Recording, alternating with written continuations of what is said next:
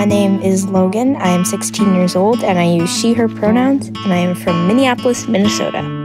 I grew up in a very accepting family.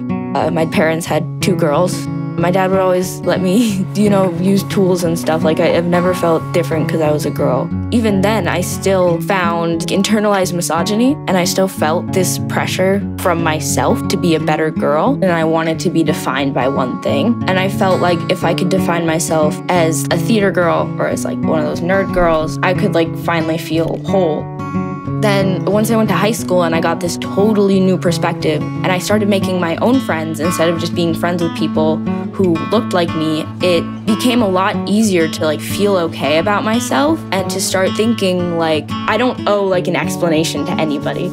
I still have to kind of remind myself that it's okay to not be perfect at everything and you know and just to like kind of try not to be defined by one thing which is also like why I just love the word bisexual is because bisexual is what you think bisexual is and it can mean anything. The more I learned that other people are not tied down by definitions, I feel like I don't need to define myself. I don't need to define my gender. Just because I'm like a tomboy girl doesn't mean I'm not a girl. I can be a girl and a tomboy, and I can be a girly girl sometimes, whatever the hell that means, you know? I think what really happened was I just figured out that like the cool people are the ones who do whatever the hell they want and don't let other people define who they are.